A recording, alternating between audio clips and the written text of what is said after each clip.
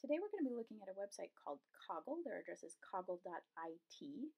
Um, all you need is an email address to get an account there. Um, it is got Google Sites, so if you uh, have a Google address or a, a, Gmail account, you can sign in using that. It's free. Um, you can use almost everything on it for free. So I'm just going to sign in here real quick. Don't save that. And then, so here I'm logged into my free account, and here are a couple of the mind maps I've played with already. And if you're new to the site, I would also suggest scrolling down here to the gallery. And there you can see tons of examples of other public mind maps that other users have used. And as you can see, they build these really beautiful, like big trees of information. And you can insert photos or uh, icons. Uh, and they're really, really kind of pretty way of organizing your information. So there's a bunch of them there you can look at in the gallery if you want to see. Um, so I'm going to go back to my account. In fact, I think I'll just hit the back button and go to Create Diagram and hit that. And so here you go. I'm going to hide that. So you just start in the middle, and here is where you'd put kind of your main idea, and you just type into this box right here and hit return when you're done.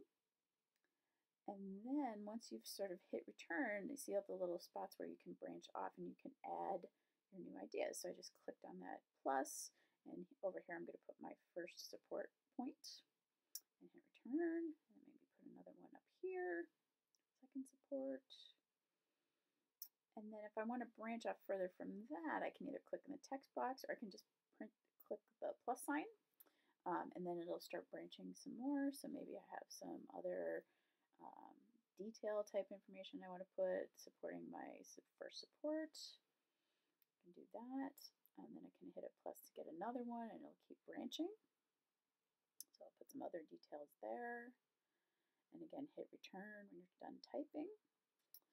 Um, and then if I even want to go further deeper than that, um, you can hit tab as well, and then that'll move you deeper into your tree if you just hit tab key instead of plain return like that. Um, so those plus signs are a good way to add the branches. Um, and then once you're within there, a tab key will work as well. So I'm going to put some more details there.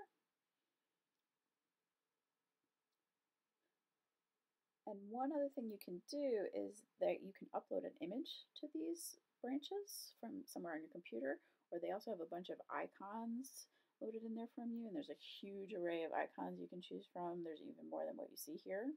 Um, so you can search for those. You can even type in a word and it'll find one for you. So let's put in a star. And it'll show up as a word until you hit return and then you'll get the icon. So that is a Coggle and a really interesting and fun way of brainstorming and mapping out your information.